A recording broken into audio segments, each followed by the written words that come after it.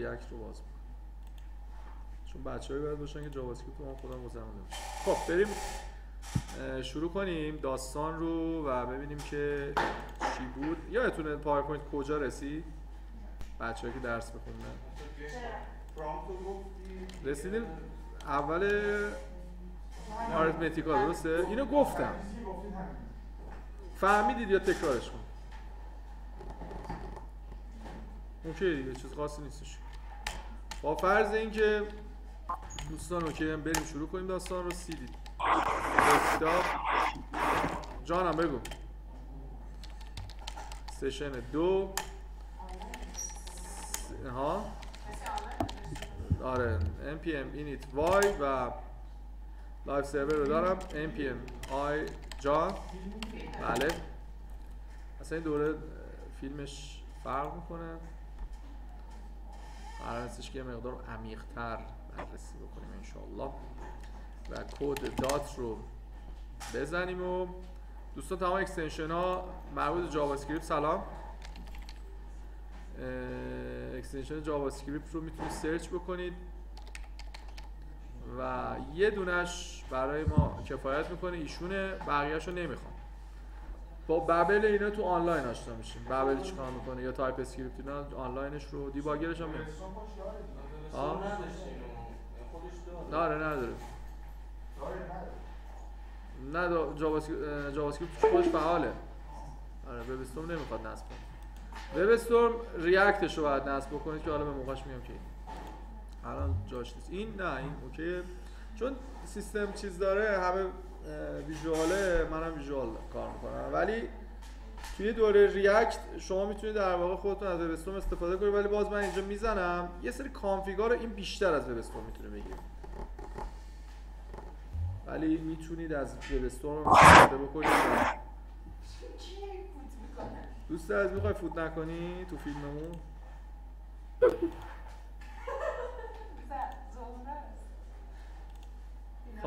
نقیب می‌خوای آه مرسی مرسی. خب تو فیلممون افتاد فوته؟ آره. بریم. index.html و بیایم و اینجا. هی خدا CSS و main dot CSS ولش کن سوالش میشه. میایم اینجا لینک و ایشون CSS main یه تایپ هم ما اینجا داشته باشیم. CSS یه فولدر جدید به ما اضافه میشه به نام JS و main JS که میایم اینجا و script رو باز می‌کنیم.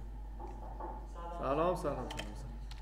سورس و JS main dot JS دوستان بنویسید ننویسید این تایپ رو تأثیری نداره ولی بنویسید تکست داش JS بحث دیفر و ایناش هم حالا با هم انجام میدیم.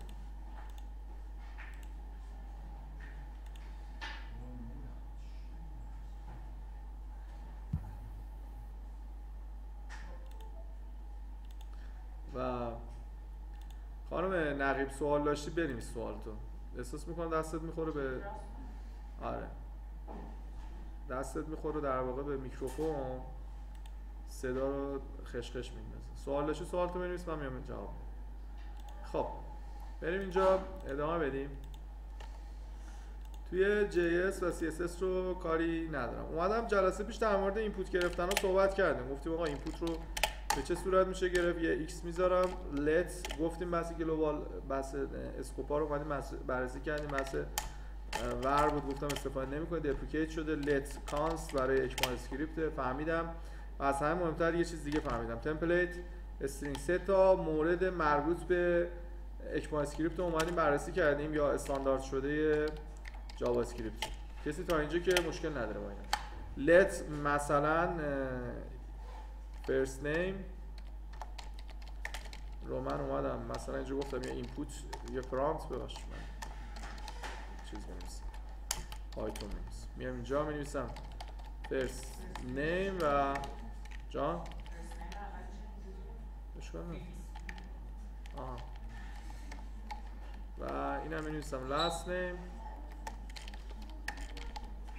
اینم می‌نویسم مثلا father name. اینا رو با هم دیگه کار کردیم دیگه. دوستان بلدن؟ اینم بحث همون.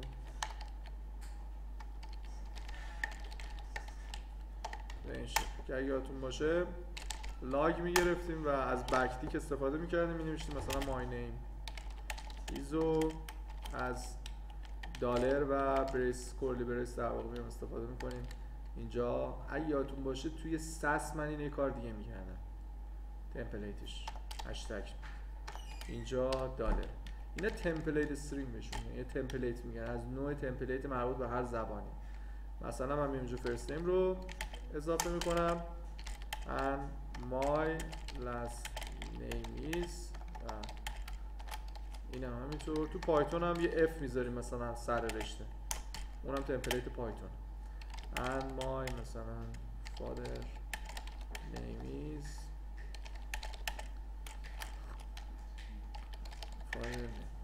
میام اینجا. live server م رو فعال نکردم. یه دقیقه live server م رو فعال می‌کنم و می‌بینم دیتا رو. میام اینجا. inspect رو می‌گیریم توی کنسول. می‌زنید. هیچ اتفاقی نمیفته چرا؟ به نظرتون. من تایپ اینو پاک کنم. خب. اینو تورج میدم اینو آرمین میدم. و اینم علی میدم. میام اینجا و دیتا رو برمیگردم تایپش نمی‌خواد بزنید تا بهتون بگم کی باید بذارید. الان زود. Name is تورج هم last name is آرمین و هم father name is در واقع علی. میام اینجا. بریم سراغ این که دیتا رو در واقع اعداد بگیریم. Let x. یه کاری می‌کردم. چی بود؟ casting جلسه پیش در صحبت کردیم. درسته؟ casting گفتیم چیکار می‌کنه؟ string رو می‌تونیم تبدیل کنیم به int float. می‌تونیم در واقع داشته باشیم و دو نوع دستور داریم توی جاوا اسکریپت یه دونش قدیمیه. بهش میگم parseInt and مثلا parseFloat که می‌تونید استفاده کنیم برای تبدیل اعداد.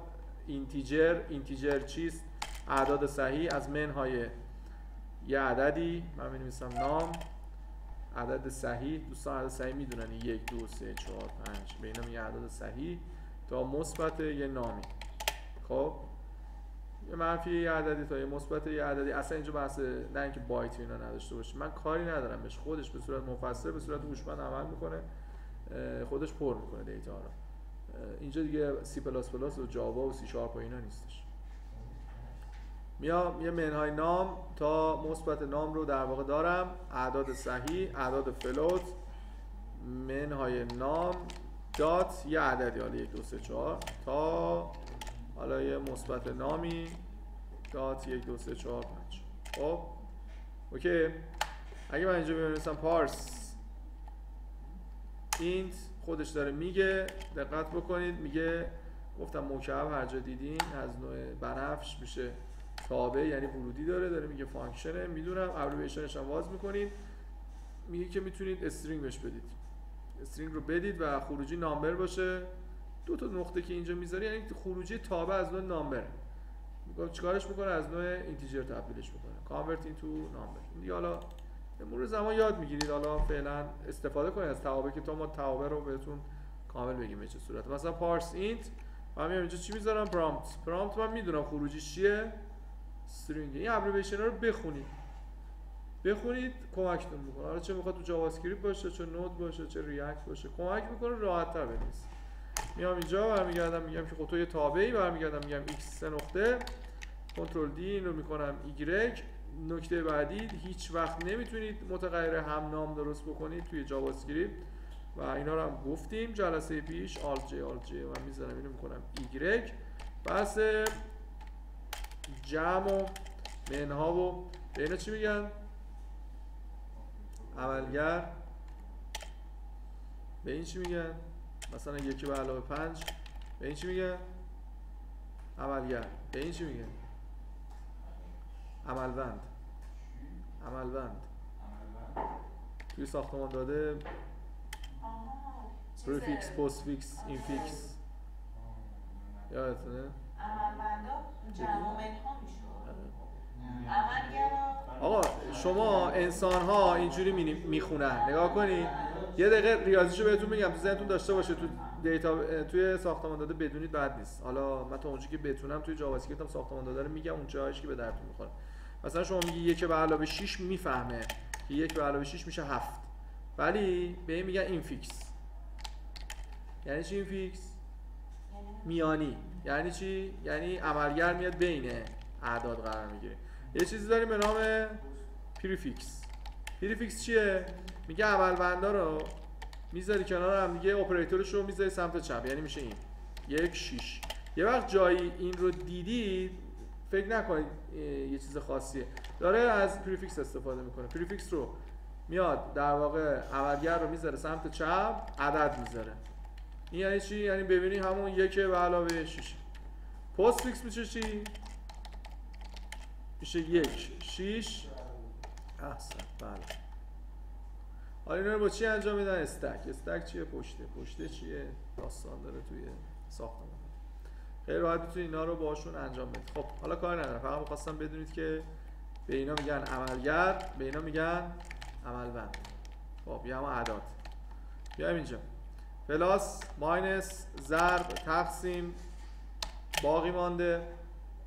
plus plus. یه دونه اضافه کن. minus minus. یه دونه کم. میام اینجا. برمیگردم میگم let sum x به علاوه y. لاگ. میام اینجا برمیگردم تو تمپلیت استریم میگم سام تو مساوی هستی با x به علاوه y. درسته؟ ولی دالرش هم میزن حالا let ساب میگم x منهای y و لاگ میایید میگید که ساب و x منهای y. لت بعدی مول بیا اینجا بگه x ضرب در y و لاگ میگم مول x ضرب در y. لت یه دونه هم دارم. تقسیم. دیو دیواید حالا هرچی خودتون می‌تونید دوست x تقسیم بر y. و میگم لاگ گزینه دیو مساویه با x تقسیم بر y. Let. رم x باقی ماندهش به y. لاگ و برمیگردم میگم رم رم مساویه با من اومدم اینجا چیزی دارم می‌زنم می‌تونستی چیزی رو بذارید ببخشید. سام. من دارم خودم دوباره اینجا توش پروسس می‌ذارم. ساب اشتباه من بود. مول و دیو میگم اینجا رم و میگم رم. یه دونم لت بذاریم خب قبل از که اینا حساب بکنیم حالا بیام اینجا یه دعوا خروجی بگیرم. خب میگم ده بیست sum. می‌خواستم چیز بشه update بشه. sum ش شد سی تا در واقع منهای ضربش تقسیمش و باقی ماندش حالا یه عدد یازده سه. میاد به این شکل در واقع حساب. خب اینم از این. بریم یه داستانی رو تو بحث plus plus و minus minus هم دیگه داشته باشیم. کاربرد داره آره مثلا تو سایت فروشگاهی که می‌خوای میگم data رو بخونی از سمت database اینا string میاد من باید تبدیلش بکنم به عدد خب طبیعتا دیگه بحثای اینها بالاخره تو فروشگاه توی جمع و منها و ضرب و تقسیم رو داری دیگه. حالا باقی هم داری طبیعتا. پس اینا به کار میان که ما ازشون استفاده بکنیم. plus plus و minus minus هم که چیز خیلی تابلویه. مثلا روی button ای می‌زنیم مثلا جنس یه دونه بشه دوتا یا یه دونه کم بخواد بشه دوتا بشه یکی. پس اینا همشون کاربردی هم همه می‌تونم ازش استفاده کنم. یکی پیام داده